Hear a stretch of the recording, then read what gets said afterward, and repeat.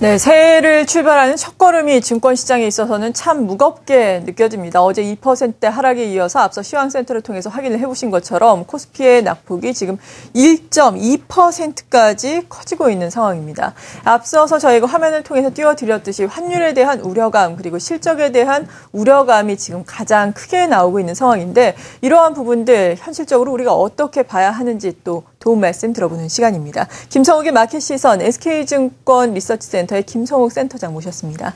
안녕하세요. 예, 안녕하십니까? 네, 센터장님께서는 그동안도 환율을 잘 봐야 한다라고 말씀해 주셨는데 정말 달러화에 대한 원화 환율 같은 경우에도 어제 장중 한때지만 1,050원대를 밑돌면서 지난해 연중 최저점을 또 깼었고 그리고 엔화에 대한 원화 환율 역시 어제 장중 한때 또 1,000원대가 무너지지 않았습니까? 이런 지금 엔화에 대한 원화 환율 그리고 달러화에 대한 원화 환율 지금 수준 수준은 어떻다고 일단 평가를 하세요? 예, 1,050원, 105엔대 뭐 이렇게 해서 그원 100엔이 이제 1,000원을 하향 돌파하는 예, 그런 모습이 나타났습니다. 이게 상당히 이제 기대는 하고 이제 예상을 했습니다. 막상 네. 게좀 속도가 좀 빠른 듯한 느낌이 있습니다. 그래서 시장이 어떻게 보면 이제 깜짝 놀란 상황이 됐고요. 근데 말씀하신 대로 지금의 위치를 한번 예. 예, 점검을 해보면 사실은 아, 핵심은 N 환율입니다. 그러니까 달러 그렇죠. 환율이 아니라 N입니다. N. 네. N이, N이 혼자 저렇게 약하게 가고 있고요. 그리고 아무래도 그 원화 부분도 이제 경상수지가 무려 이제 643억 달러라는 거는 뭐 기록적인 숫자지 않습니까? 그래서 역시나 이제 원고의 압박을 계속 받고 있는 상황이라 이제 어떻게 보면 양방이죠. 양방으로 이제 원 백엔이 영향을 받고 있다. 이렇게 보시면 되겠습니다. 그래서 근데 실제로 지금 그 외국인들이 이제 어떤 그 환율에 대한 포지션이 어떻는가를 한번 잠깐 한번 보시겠습니다. 네. 이제 참고적으로 이제 약간 그 투기적 성격이 좀 있죠. 그래서 엔 달러 환율의 이제 비상업적 포지션입니다. 그래서 이렇게 보시면은 빨간색이 이제 엔 달러 환율입니다. 그래서 최근에 그 작년 그 10월 달부터 급격하게 올라간 그 환율인데요.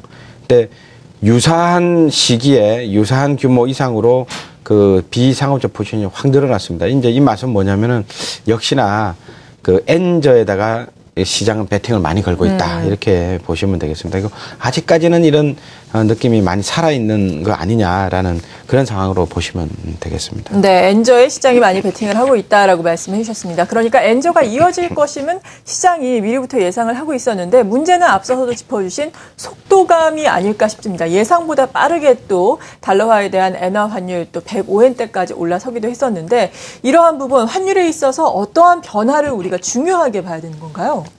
예, 지금 어, 속도와 크기가 굉장히 우려되는 상황이죠. 네. 그래서 그런 부분에 있어서 지금 오히려 역설적으로 그원 달러 환율이 뭐 상대적으로 선방하고 있습니다. 그래서 네. 이런 부분에 있어서는 그 원 달러 환율이 사실은 엔 달러보다 원 달러가 큰 영향을 미치거든요. 그래서 그 나름대로는 선방하고 있다는 것 이제 뭐 다소간의 위안을 얻을 수가 있는데요.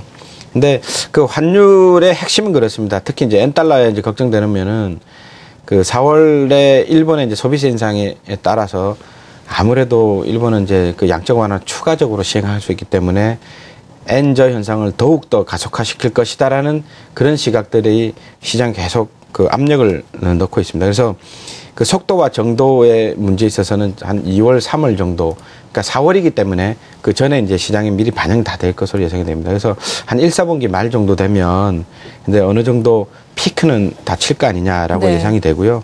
그리고 이제 그때쯤 되면은 이제 중국 경기에 대한 우려감, 또 미국의 본격적인 그 뭐 소비 증가가 이제 그 뒤에서부터 살아날 것으로 예상됩니다. 그래서 이제 제가 지난번에도 말씀드린 대로 이제 상저하고의 모양이 나올 수밖에 없다라고 네.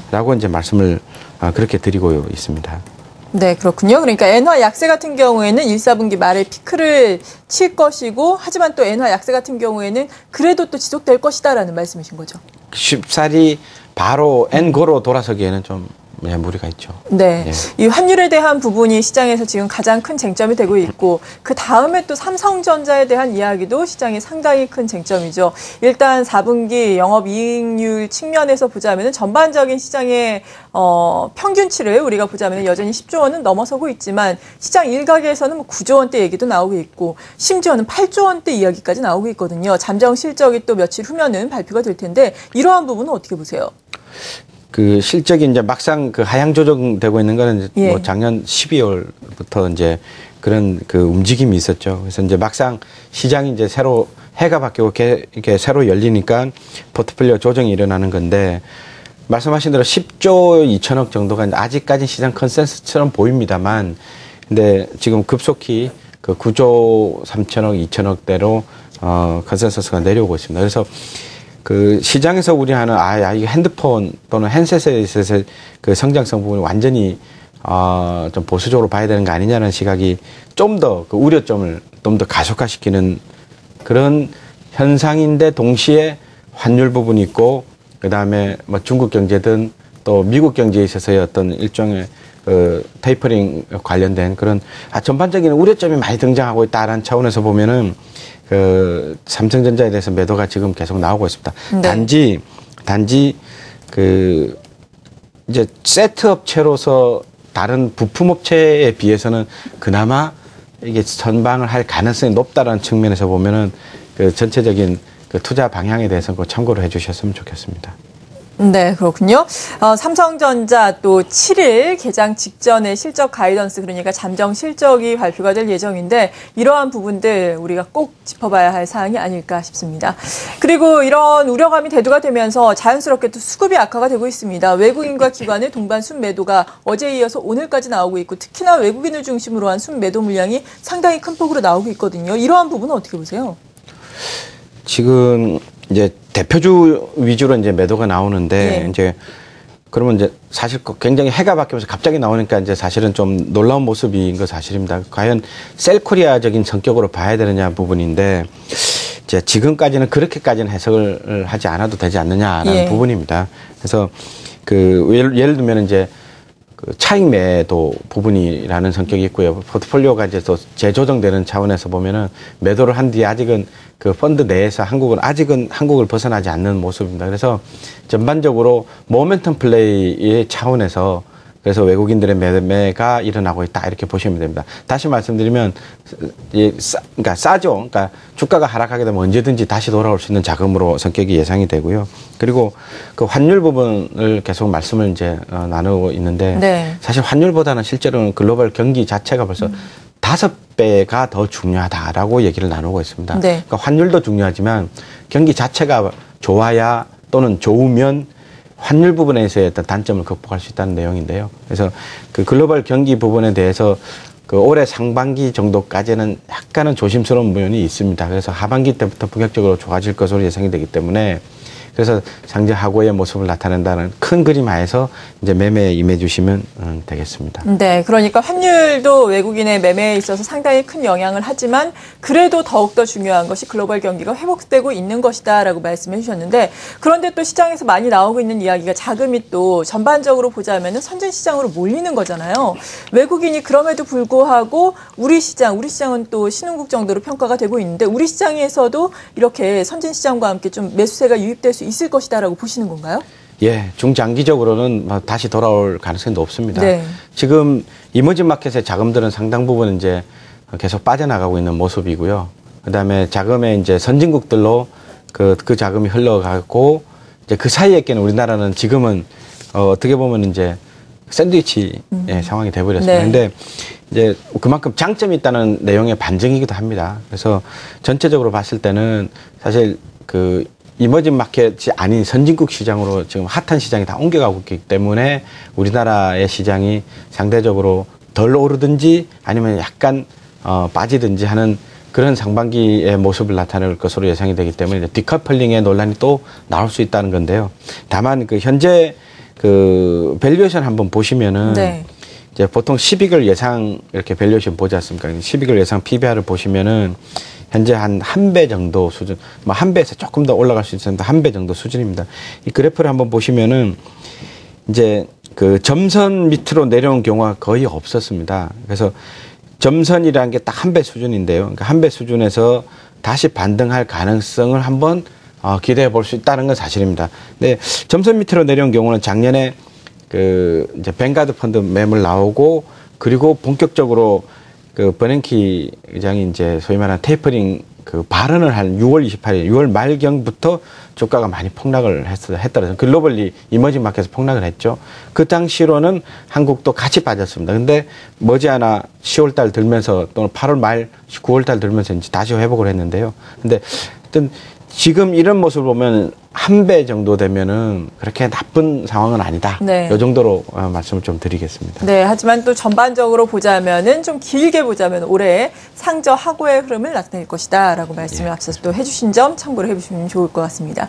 1월만 그렇다면 놓고 봤을 때 사실 지금 일단 출발은 좋지 않지만 한 해를 마무리를 하면서는 1월 효과를 어느 정도 기대하셨던 분들이 상당히 많으실 텐데요. 미국의 소비 시즌이라든지 또 일은 춘절이 중국에서 또 있기 때문입니다. 이러한 부분은 어떻게 봐야 될까요?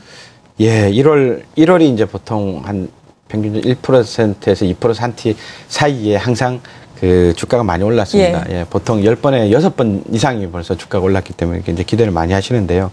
근데 근데 그럼에도 불구하고 상황이 좀 바뀌면은 좀 있습니다. 그래서 말씀하신 대로 소비 뭐 미국 소비 시장 괜찮습니다. 예. 다만 본격적으로 회복하기 는 조금 시간이 걸릴 수 있다는 부분이고 네.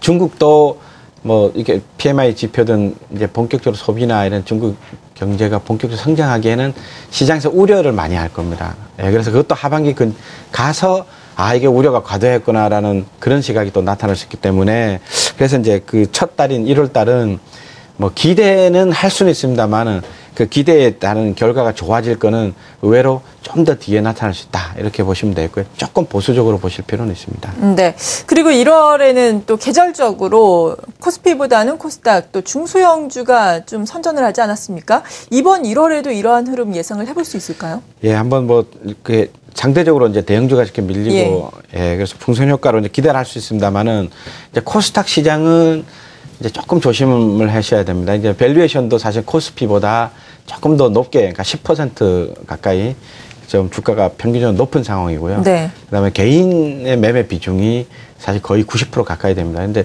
개인들의 이제 매수 여력이라든 부분이 사실 그렇게 여유롭지가 않은 상황입니다. 그래서 네. 그런 부분 등등을 고려할 때 그러면 상대적으로 이제 코스닥 시장에 너무 그 집중하는 경우는 좀, 좀 피하시는 게 좋고요. 이제 개별 종목 차원에서 이제 실적 회전, 호전 또는 저평가된 종목 위주로 그렇게 매매를 하시도록 부탁을 좀 드리겠습니다. 네, 그러니까 개별 모멘텀을 보유한 종목들로 우리가 제한해서 코스닥 시장 내에 중소형주에 관심을 가지는 건 좋지만 코스닥 시장이 뭐 선전을 할 것이기 때문에 여기에 전적으로 또 관심을 갖는 것은 좀 지양을 해야 하지 않겠느냐라는 이야기를 해주셨는데 그렇습니다. 그렇다면 코스피 시장 1월 한 달만 놓고 봤을 때는 밴드를 어느 정도까지 예상을 하세요? 뭐 참 듣기 싫으신 말씀 중에 이제 박스권이라는 얘기를 또 들으실 겁니다. 네. 예. 이제 그럼에도 불구하고 말씀을 좀 드려서 박스권의 모양이 또 나타날 것으로 예상이 됩니다. 그래서 지금 그 1920, 그러니까 예를 들어 숫자로 말씀드리면 예. 한 1920포인트 정도, 이제 1900을 깨기에는 좀, 예, 밸류에이션 상으로는 지금 예측하기는 좀 어렵고요. 한 1920포인트 정도에서 이제 2000포인트를 과연 이제 돌파를 할 수도 있습니다만은 2000포인트 근처에서 이제 밴드의 모습을 나타낼 것으로 예상이 되는, 어, 그래서 예상이 되고요.